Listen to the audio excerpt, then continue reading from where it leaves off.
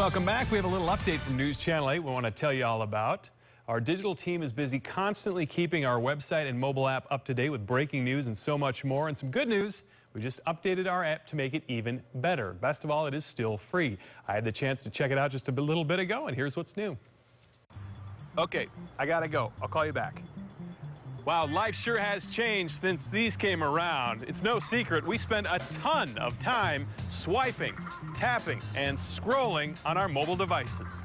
And that's why we updated the News Channel 8 app so you can stay on top of the latest news, weather, traffic, and sports in the Bay Area. Right away, you'll notice a new layout. Want to read a few stories? Just swipe through the latest headlines.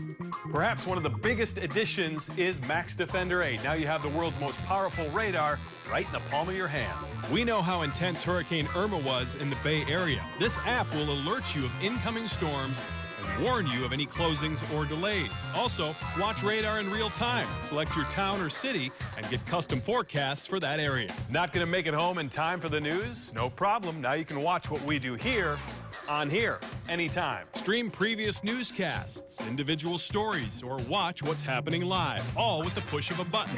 You can check out investigations, sports highlights, viral videos, and much more. And that's not all. Notifications will let you know when news breaks, and if you see any breaking news, just send it right from the app. Ready to get started? Well, if you have an iPhone and you had the previous app, you may already be updated. Just check your updates or head to the App Store for the free download. Android users will have to update the app manually in the Play Store.